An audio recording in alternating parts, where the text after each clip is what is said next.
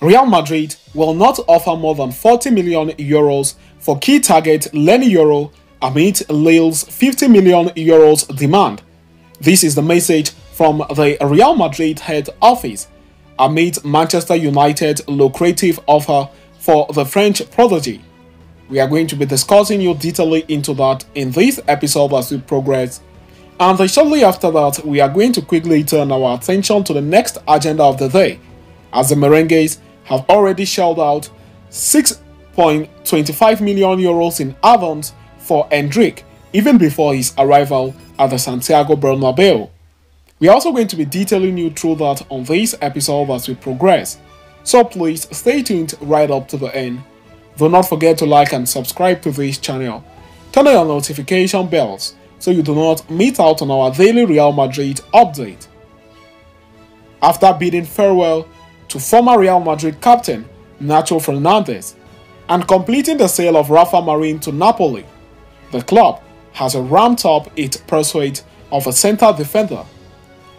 As it stands, Leny Yoro, their priority target for the position, Los Blancos have been tracking the teenage throughout 2024 and intend to accelerate the process as the summer transfer window reaches a crucial stage.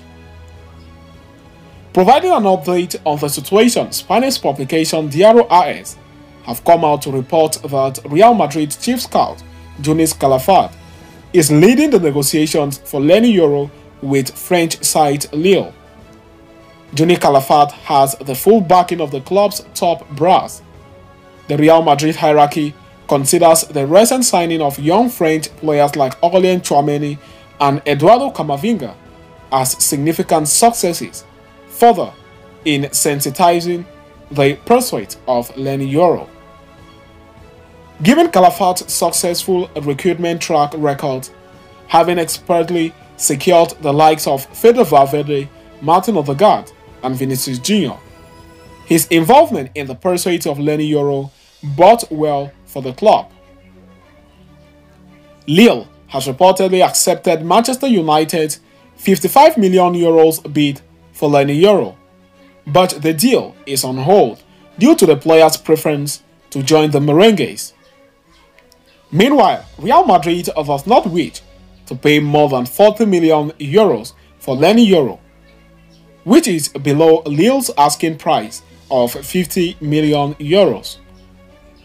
There is a significant gap between Real Madrid and Lille's position, so Real Madrid is leaving the decision in the hands of the player.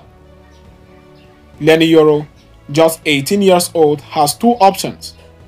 Push for the transfer to happen this summer or stay in France for another season and join the Merengues on a free transfer in the summer of 2025.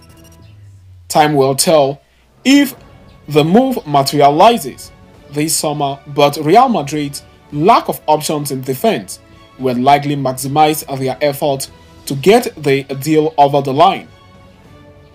Last season, the Real Madrid defense was many times exposed due to injuries to David Alaba and Eder Militao, which caused defensive midfielder Aurelien Tchouameni to deputize in the centre-back role, a role where Leny Yoro thrives in for Lille.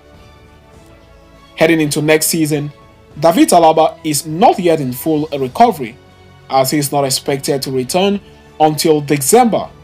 So it is left to be seen whether Real Madrid will put all that in consideration while bidding for Leny Yoro or they will have absolutely no problem deputizing Tchouameni who did exceptionally well in that position last season when Eder Militao and David Alaba were both out due to injury.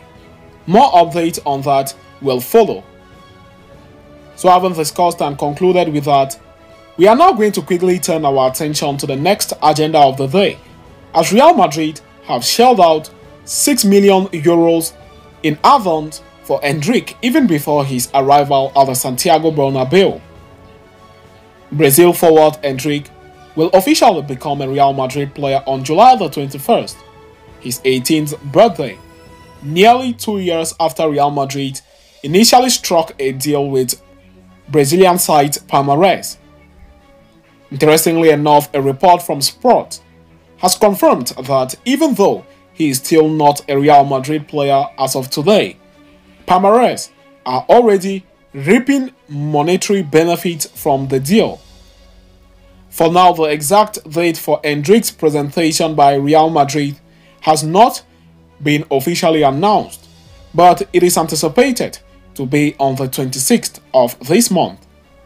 This timing falls just two days before the end of his vacation, following his participation in the Copa America. On the presentation day, Endrick will sign a new contract with Real Madrid committing to the club until the summer of 2029. He is also expected to join the team's training session in preparation for their tour of the United States alongside other Brazilian stars like Vinicius Jr., Rodrygo, and Eder Militao. It must be noted that Real Madrid's agreement with Palmeiras includes a base fee of 35 million euros with an additional 25 million euros in potential performances related variables. Furthermore, there are tax implications amounting to around 12 million euros, bringing the total cost to roughly 72 million euros. Endrick's salary is said to be below 10 million gross for the first two seasons, in return, Real Madrid will retain 50% of his image rights, which will help offset part of the investment. Interestingly, Palmeiras are already seeing financial gain from the transfer due to various performance-related clauses in the agreement with Real Madrid. For instance, there is a bonus of 2.5 million euros for goals scored by Endrick while he was still at Palmeiras.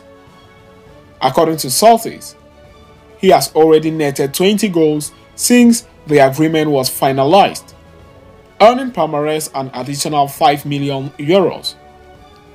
Additionally, Palmeiras will receive 1.25 million euros because Endrick played in the Copa America despite his performances not being particularly impressive in the tournament.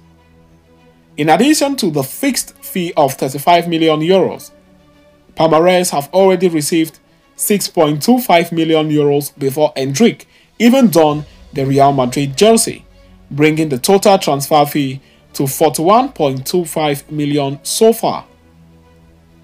Endrick's journey with Real Madrid is just the beginning, and Palmeiras hope to continue receiving payment until the total reaches 60 million euros they valued the player at during the bidding process, which Real Madrid ultimately won. More updates on that will follow in our upcoming episode. Stay tuned so you do not miss out. So having discussed and concluded with that, we have come to the end of today's interesting episode. Thanks for following us right up to the end. Please do not forget to like and subscribe to this channel. Turn on your notification bells so you do not miss out on our daily Real Madrid update. See you next time and a very big Hala Madrid to us all.